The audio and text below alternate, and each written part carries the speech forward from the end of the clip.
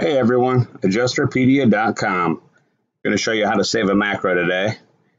So I go, I went ahead and built it already. All my line items down below here.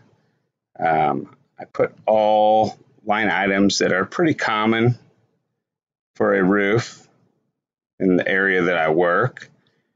Um, a new company that I'm working for, they want to change a couple things on how I turn these line items in. So one thing here is a drip edge. I'm going to go ahead and re put that to replace rather than remove and replace.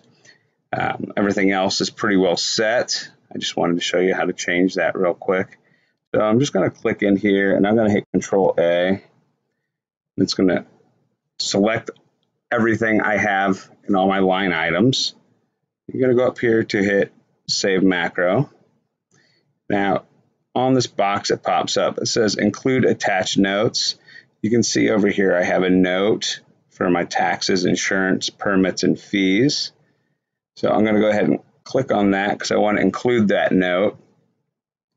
Under code, I'm just going to put, since it's a 30 year shingle, I'm using the 300S, I'm going to put 300 underscore.